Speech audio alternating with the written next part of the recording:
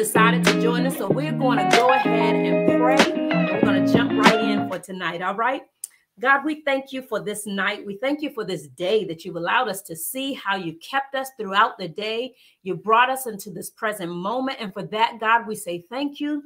God, we thank you for this time that you're going to allow us to spend together in your word. God, we pray now that you would uh, anoint our ears to hear, oh God. God, I pray that you would anoint my mouth to speak those things that you would have me to speak on tonight. Father, we thank you for there being a deposit, oh God. Father, we thank you that your word tonight will be real. God, we thank you that it will be relevant and it will be uh, we will something will be revealed to us, oh God. We thank you for revelation coming to us individually and corporately on tonight. Father, we pray that each and every person that hears this word, God, it will be deposited, planted, and God, we will not just hold on to it, but we will allow it to be executed in our lives. Father, for that tonight we say thank you. We give you glory, honor, and praise. It's in Jesus' name we pray and we say amen. All right, amen. So thank you again for joining us on behalf of Bishop Daryl J. McClary Sr. and Pastor Jessica T. McClary. We welcome you. All right. And just go ahead and uh, ask somebody to join you in the cyber Bible study in the cyber sanctuary tonight as we dig into God's word.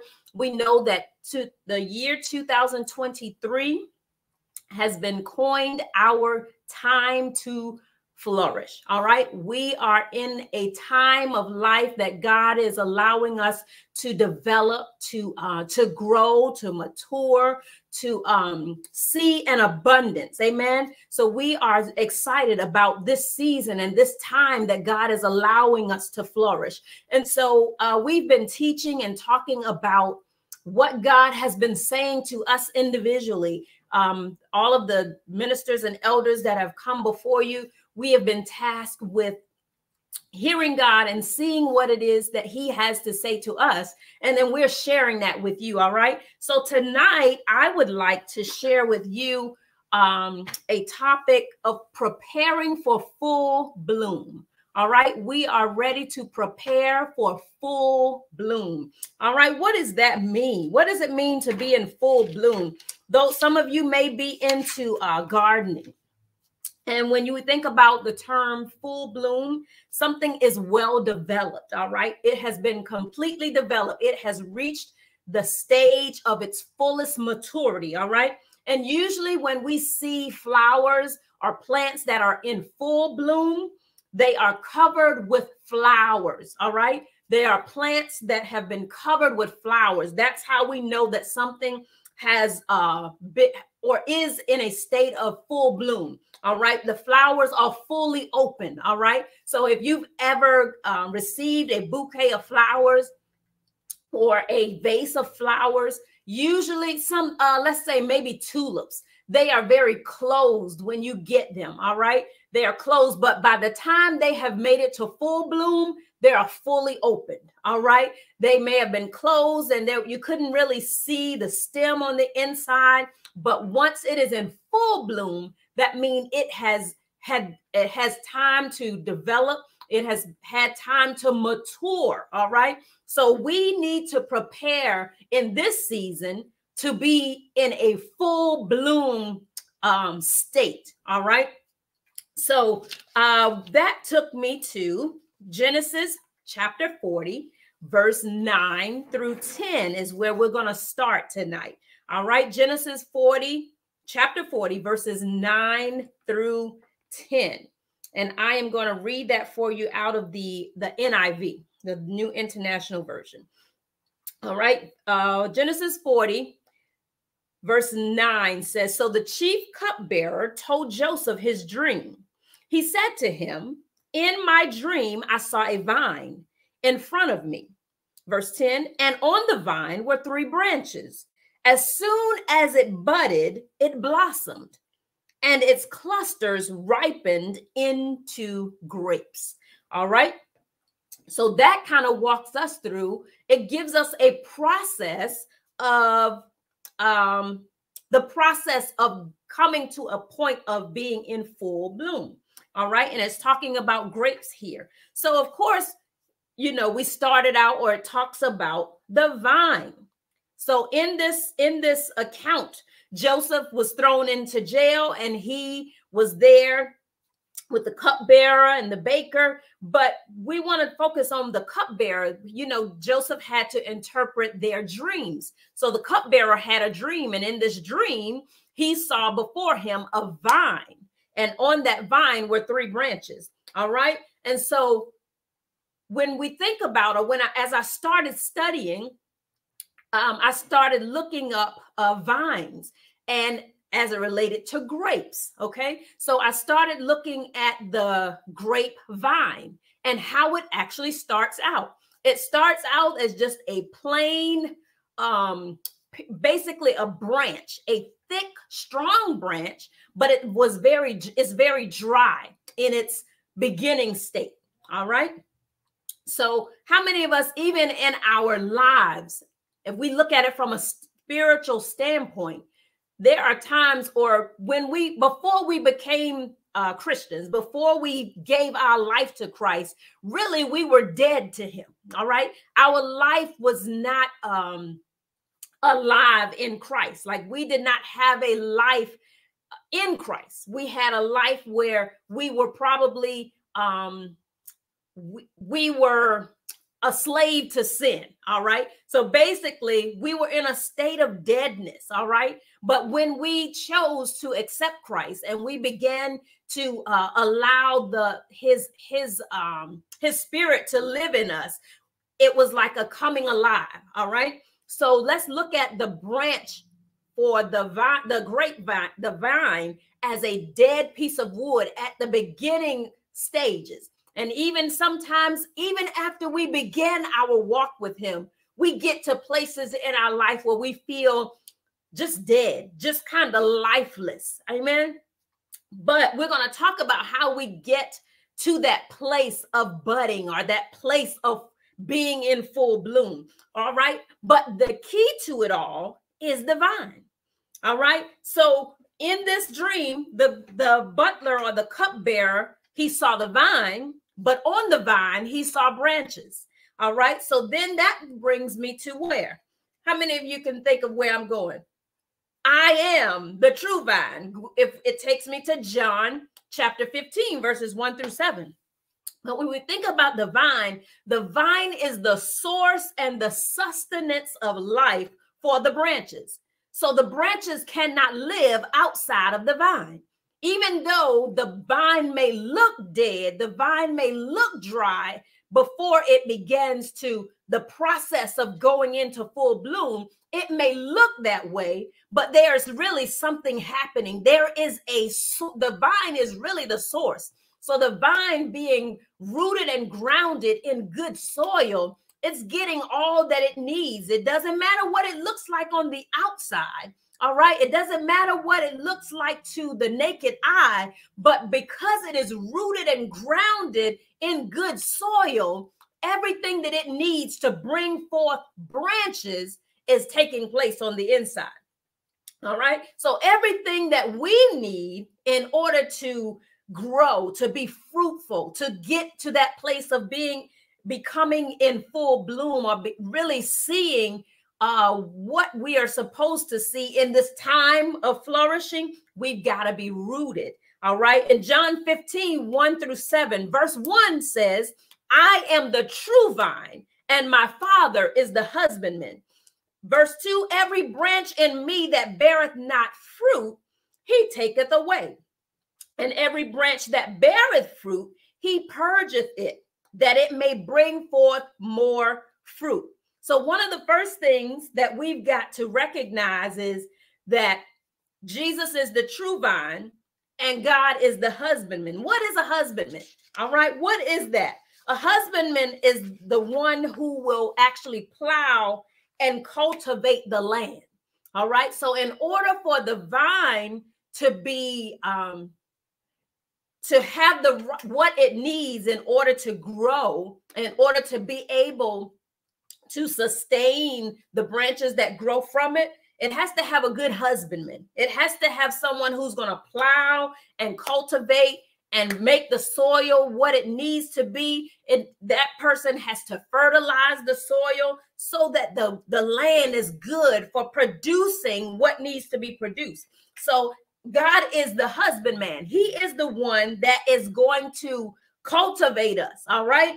And when I think about the cultivation that's needed, it's the it's a heart thing. We've got to allow God to cultivate our hearts.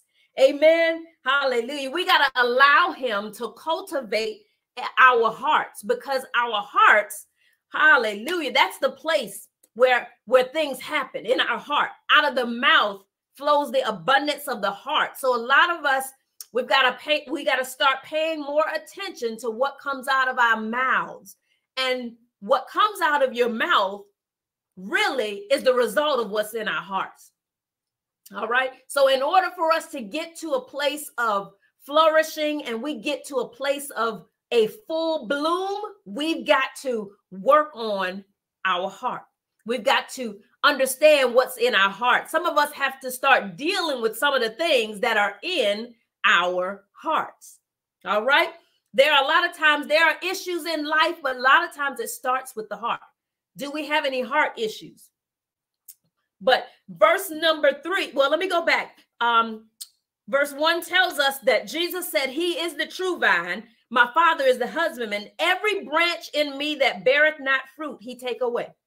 So it is our job as branches connected to the vine that we've got to bring forth fruit because it's not until the fruit doesn't come from the vine itself, but the fruit will grow on the branches that come out of the vine. So we've got to be in the vine in order for us to grow and bear fruit. So the very first thing that I need you to know, um, I'm I'm I'm about to get ahead of myself, but let me go ahead and read verses three and four. Three says, Now ye are clean through the word which I have spoken unto you. Four is abide in me, and I in you. As the branch cannot bear fruit of itself, except ye abide in me, which is what I just said. We've got to, we can't, the, the vine can't produce the fruit, but the branches coming out of the vine, and then the fruit are going to grow on those branches. But one thing we have to do in order to get to the place or to prepare ourselves for full bloom is we've got to abide and abode. So we have to abide and we have to allow Christ to abode. So what does it mean to abide? Abide really means to, to remain, all right, to continue, to stay, all right. The Greek word for uh, abide or remain for abide is meno, all right, which means to stay, remain in Him, all right, not only when it's convenient, because that's when we get tripped up a lot of times. All right, we get tripped up with saying, "Uh, uh I can't, I can't do it. I can't live this life every day, every minute, every second of the day." I can't, you know, I'm not perfect. No, we are not perfect. But if we abide in him, means if we stay in him, if we continue to walk with him, if we continue to walk according to his way, according to his statutes, if we continue, if we make up our minds that we're going to stay in him and allow him to stay in us, because to abode means a place where one lives. So, will we be the place that we allow him to live? All right. So, it's a two part thing. We've got to abide in him, and he's got to abide in us. All right. So, the uh, to abode means there is a place where one abides. So, we are the place where he abides. Are you going to present your body as a living sacrifice? If you go over to Romans chapter 12, I beseech ye, therefore, brethren, by the mercies of God, that we present ourselves, our bodies, a living sacrifice, holy acceptable unto God, which is your reasonable service. Can we talk about reasonable service? When something is reasonable, it's easy to do. When something is reasonable, you can accept it pretty well. Let me think about something. I thought about reasonable. We will pay a reasonable price for something. When we think that it's affordable, when we think that um, it's of good quality, we won't mind spending the money or doing whatever it takes in order to obtain it. So, presenting our bodies is a reasonable service unto the Lord. Being holy and acceptable unto Him, that's reasonable. That's not something hard. I know you said, yes, it is, because when somebody comes at me the wrong way, I want to go off on them. I want to give them a piece of my mind. I want to do this. I want to do that. But what our reasonable service is, is to remain in Him and allow our bodies to be a living sacrifice so that He can abode there. All right. So that He can abide in us. So it's not just about us abiding in Him, because when we say that we abide in Him, we are followers of Christ, but something comes up and it makes us want to flip. It makes us want to turn and do something that will please our flesh. All right. That I, I want to question whether or not we are truly abiding in him and allowing him to abide in us. All right? Because when when certain uh people just say you had a guest and there are certain things that you won't do when you have guests in your house. All right? So when when we allow him to really abide in us there are some things that we just will not do when it comes to this body and allowing it to be a living sacrifice. All right. So there are some things that we have got to cut off before we get to the place of not being able to bear fruit.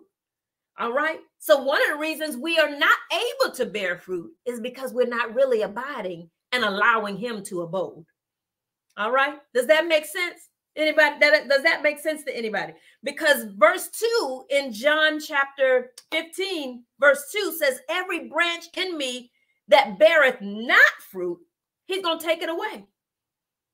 All right. So, in order for us to prepare for full bloom, we've got to make sure that we are abiding. All right. We have got to make sure that we are staying with Christ, that we are um we are allowing our bodies to be the living sacrifice. We've got to allow our mouths to be the living sacrifice. We've got to allow our eyes to be a living sacrifice. Our ears, our feet, every part of our being has to be given unto him. All right. We've got to abide and we've got to allow him to abode. So, this is the place. This is the place that he has got to reside in order for us to be able to um, bear fruit. Okay. In order for us to be strong enough to withstand the, the wiles, the tricks, the, tr- the traps, and the schemes of the enemy, we got to abide. And abiding means staying no matter what, even in adversity. We've got to stay.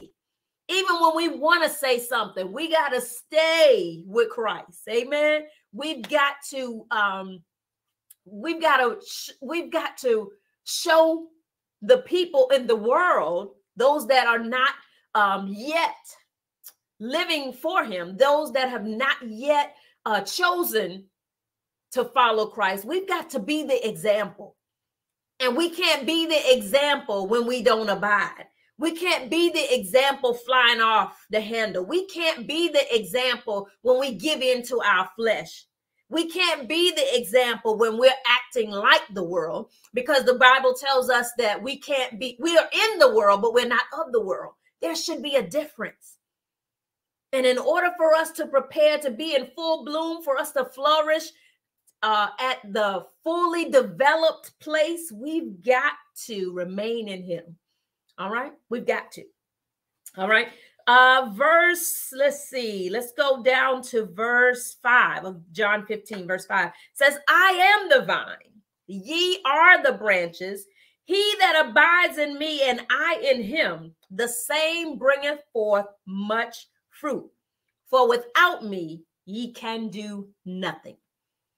So we can't be the example if we don't stay in him. We can't show that um, we don't have to fly off. We don't have to cuss everybody out. We ain't got to fight everybody that rubs us the wrong way. We don't have to do it that way because as once we begin to truly abide in him and truly allow him to abide in us, then we will be, everything won't rub us the wrong way. Everything won't require us to snap back. All right everything will not rub us the wrong way. We we every every piece of bad news that comes will not allow us will not cause us to fall or faint or or um be wavering in our faith up and down up and down to the left to the right you know one day we want to walk with christ the next day i don't know if i can do this thing come on if we are preparing to be in full bloom, the more we abide in Him and the more He abides in us, it becomes easier. All right. The walk becomes easier. The enemy, yes, will try to bring th- things to frustrate us, to agitate us, but we've got to get to the place in Him that we recognize that all things work together for the good. All right. All things work together. It may not look good. It may not feel good. It may not line up with the way you thought it was going to happen or the way you desired for it to happen. But all things work together. All right. And you can always walk in such a way that you will remain positive no matter what the situation, no matter what has been thrown your way. We can walk, we can walk this thing out. Amen. We can be the example. All right. We can bear much fruit. But guess what? Verse 6 says, If a man abide not in me, he is cast forth as branch, as a branch, and is withered. And men gather them and cast them into the fire, and they are burned, done away with. All right. So either we're gonna walk with him or we not. What you gonna do? Either you're to walk with him or you're not. It's time out for back and forth. It's time out for um, wanting to do it your way one day and then wanting to do it his way another day. We we can't do that. All right? We have we got to remain. We have to stay in the place that he has called us to. It means continuing for a long time and not changing. That's what abide means to continue for a long time and not change. But we find ourselves changing. Amen. We find ourselves in and out, back and forth, playing double dutch. All right. But we have got to remain. We got to be steady. We got to be stable. All right. We got to stay with him. All right. And what did I say? Not just when it's convenient. All right. It can, some days is easy, but on the hard days, on the days that you don't feel like it, on the days when you wake up and you don't, I don't even know why I feel like this. But some of us, we we like that feeling. We want to stay in that place, but we will not abide or get the word in us, get worship in us, and and step over that thing. A lot of us like to sit in that thing. All right. But I can't pull myself out of it. Well, get you a word. Pull on the spirit of the pull on the spirit pull on God and say, God, get me out of this place. All right. Bring me back to a place of, of peace. Bring me back to a place of, of, of happiness. Bring me back, God, to a place of, of, of recognizing that you are in this situation, that you are in control of the situation. It may not have gone the way that I wanted it to go, but God, bring me up out of this, this, this, this feeling, this slump. Bring me up out of this. And a lot of us, be honest, sometimes we want to stay in that place of feeling however we want to feel. Like anybody comes your way, this ain't the day. I ain't got time for it. If they come to me with this today, then th- this is what I'm gonna say. Because if we if we are abiding in Him, we have got to bear fruit every day, all day. We don't know when an opportunity will present itself because even in this time of flourishing, it's not just about flourishing in material things, but we have a responsibility. We all have a general call. We've got a call to to grow the kingdom. All right, to be witnesses unto him wherever we go. So even when we in a funk, even when we feeling how we feeling, we got to get up out of that thing because we don't know who we are supposed to encounter on in that day. We don't know when God is going to need have need of us. Amen. So that's why we've got to always abide. We've got to always abide in him and allow him to abide in us. All right. So, um, so if we don't, he's gonna cast us out. He's gonna cast the branch. The branches are gonna be um, thrown away. And I, I looked at a time lapse of um, grapevines growing. So I want you, when you get some time, I want you to search on YouTube um, grapevine time lapse. Okay. Grapevine time lapse. And it will actually, what it is, is um, it's a, a camera set up in a vineyard of grapes. And it begins at the beginning of the season where you see what I was talking about the dead looking branch that is the, and it's it's a lot of them. They are there looking like nothing is going on. But it, one thing i did notice that the um the ground was well prepared. I mean everything was in order and that's what the husbandman husbandman does. He makes sure that the ground is prepared to produce. All right? So as long as we allow god to cultivate us to cultivate our hearts all right for us to let go of some stuff that we may have been holding on to we allow God to cultivate our hearts and prepare us for growth. All right. But when you go and you look at the time lapse, so the, the camera is set up so that it is there the entire season from the dead looking branch or the dead looking vine all the way through the growth and the development, the full bloom of the grapes. And during that time, you will see how the branches grew out. And then after the branches grew out, you begin to see the leaves growing on the branches. All right. And after that, you see um, bundles of grapes that are growing. And I mean, actually, what you don't see, hallelujah, thank you, God. What you don't see in this time lapse video is someone going to tend to the vines. they are just growing. They're doing what they need to do. Because if they've been planted in the right place, once they've been planted and cultivated, the soil has to be plowed first. The, the ground has to be prepared first. Then the seeds for the vines are they are dropped in. And so we see the, the point of the, the vines without any branches, without any leaves, without any grapes but you see the process of the full bloom taking place. And so once we are planted, once we are abiding in him and he is abiding in us, we begin to see fruit. But guess what? There is a process where if fruit are, if the branches are not producing fruit, they fall off. But there are there is also a process of pruning where even the branches that are growing fruit, it has to be trimmed. It has to be pruned in such a way that that branch will bear even more fruit. But even as we are walking with Christ, there are things that will come along and they will, God will need to um, cut some things away he will need to do some uh, some pruning and some some prepping and some restructuring of some things even though we are producing fruit but he's still got to do some cutting and trimming of some things away from us so that we can bear more fruit.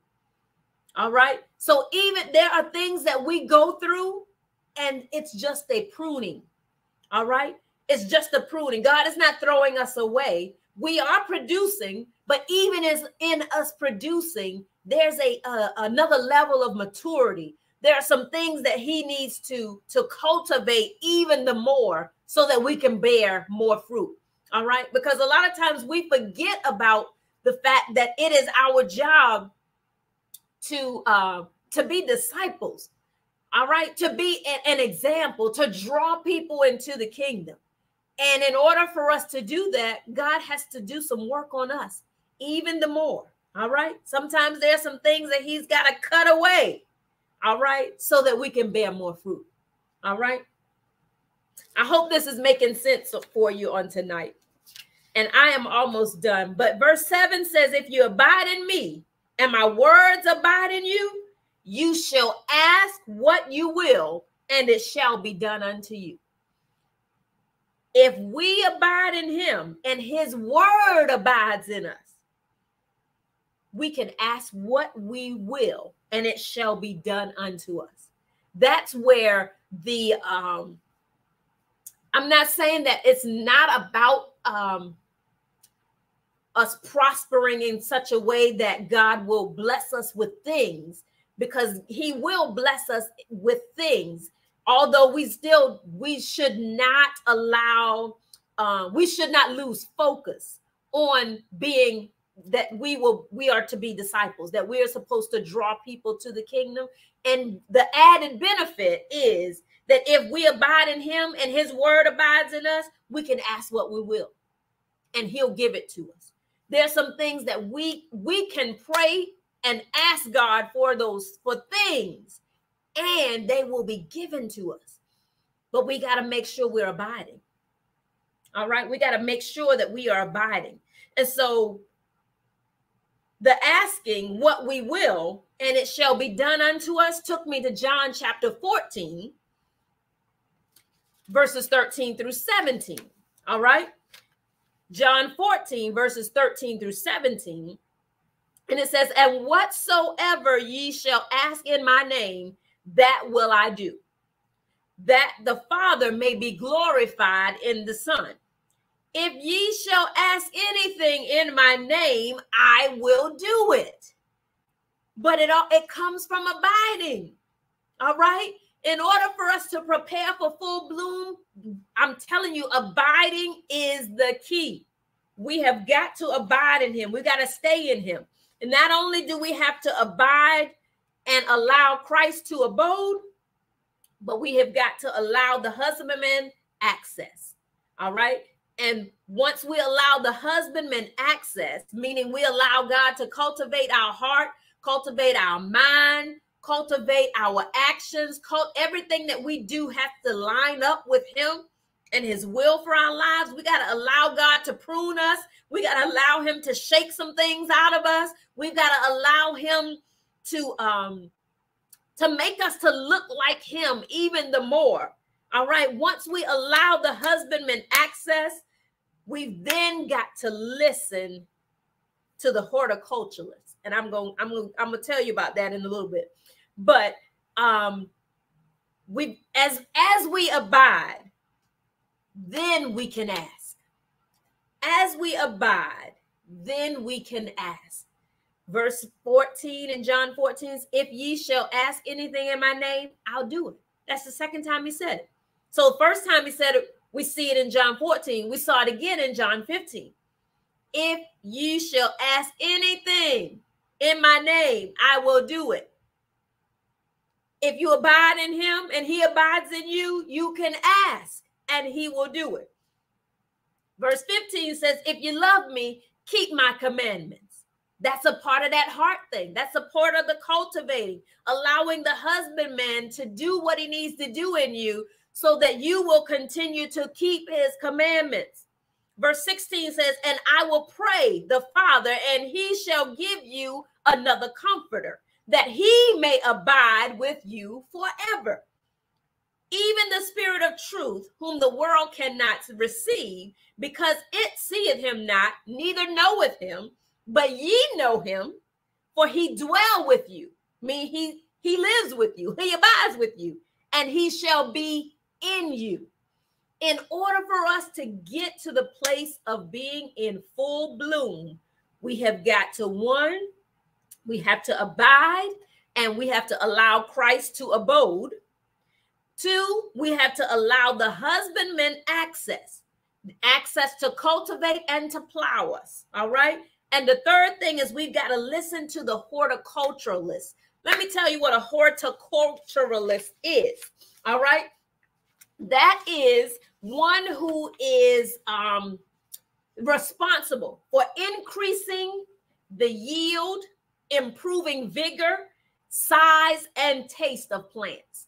So a horticulturalist has studied what is necessary in order for a plant to grow in size in order for uh, let's go back to the to the budding of the grapes it is it is the horticulturalist studies the the ground the soil what needs to be done how long all of these things but they specialize in knowing what's needed in order to get the best out of it all right the horticulturalist is the holy ghost in our lives, we have to allow the Holy Ghost to tell us what to do. We've got to allow the Holy Ghost to be our guide. We've got to allow the Holy Ghost to provide instructions. Amen. We can't do it on our own. We can't do it in our flesh.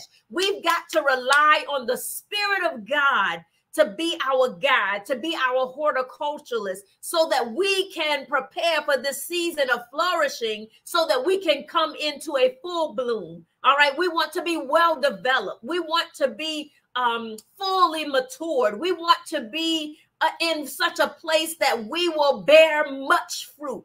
All right, we've got to be in a place that we are bearing much fruit that we are producing in the kingdom. Amen. That we're just not sitting back doing nothing. That we are not just sitting back to where God is saying, if you don't want to do anything, I can't do anything with you. We don't want to be the branch that is that falls off of the vine because there are branches that just fall off themselves because they're not producing anything. All right. But we want to be the branches that produce much fruit. And in order for us to produce much fruit, we have got to be, uh, we've got to allow the Holy Spirit. Amen. We've got to allow the Spirit to speak to us. We and not just speak to us, we've got to listen. All right, because the Holy Spirit is the expert. A horticulturalist is the expert, and the horticulturalist works along with the husbandman, works along with the farmer. Because in our terms today, a husband would be a farmer, one who actually works the ground all right one who actually cultivates and and plants the the the the seeds in the ground. And the horticulturalist says okay now that you have planted the seed i need you to do this. This is how i need you to um, provide additional nutrients to the soil so that these vines can grow to be uh, strong, that these vines will produce branches that will not just fall off, that will actually produce fruit. So we have got to listen to the expert, which is the whole the horticulturalist is the expert. The Holy Ghost is the expert. The Holy Ghost knows what we need to do. The Holy Ghost knows when you need to speak. The Holy Ghost knows when you need to be quiet. So we have got to listen because the horticulturalist works alongside the husbandman. All right.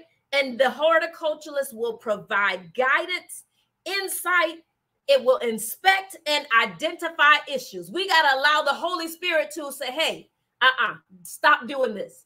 This is not going to produce fruit. This is not going to produce the fruit that I need you to produce. All right. So we have got to be willing to listen to the expert. We got to be be be willing to listen to the Holy Spirit in this season as we are preparing for full bloom.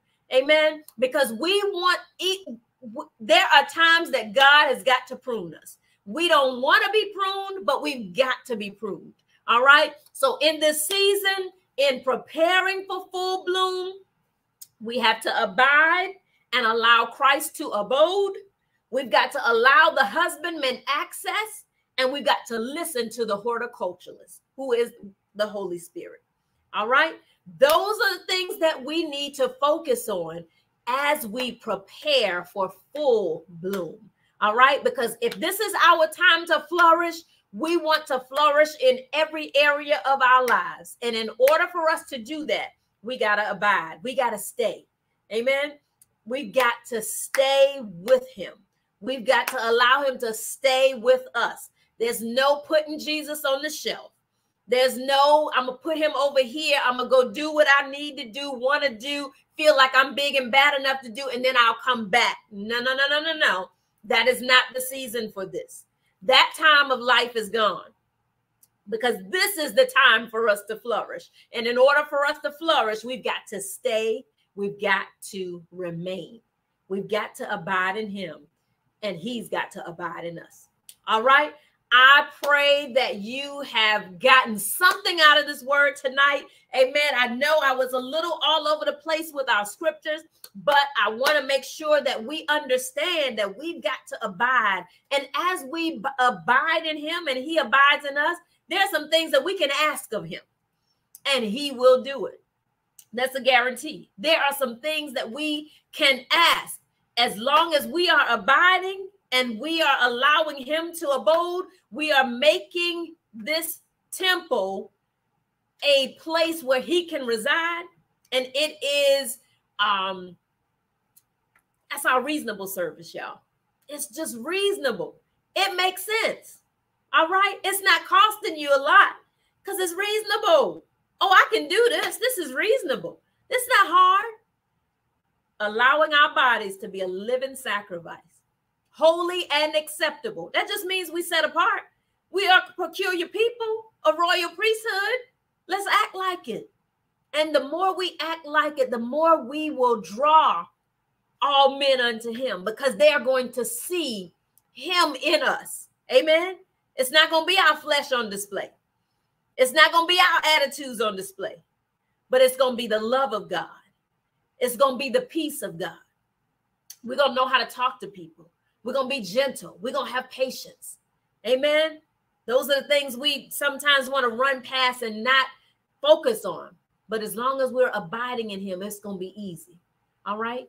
And we are going to be in full bloom in this time of flourishing.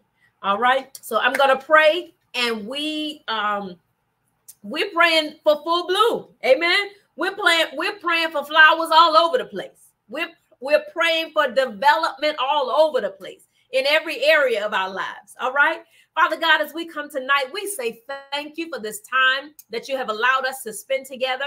God, we thank you for your word. God, we pray that your word will be rooted and grounded in our hearts. So, God, we thank you, hallelujah, that this word has fallen on good ground tonight. God, we pray that you would help us to prepare for this season of flourishing so that we can be in full bloom, oh God, that we can be well developed, that we can be completely developed, that every flower, hallelujah, for every fruit, oh God, it will grow in abundance, oh God. I thank you that we will be able to draw people to the kingdom, oh God, as a result of them seeing how much we abide in you and you abiding us. God, we just say thank you tonight.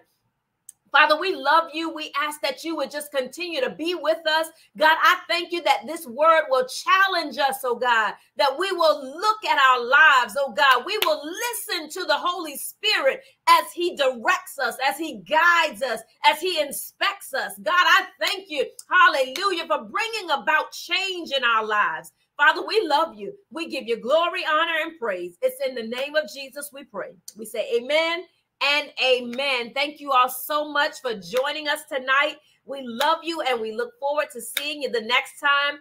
Go flourish, prepare for full bloom, abide, abide, abide. All right. Love you all and have a great evening.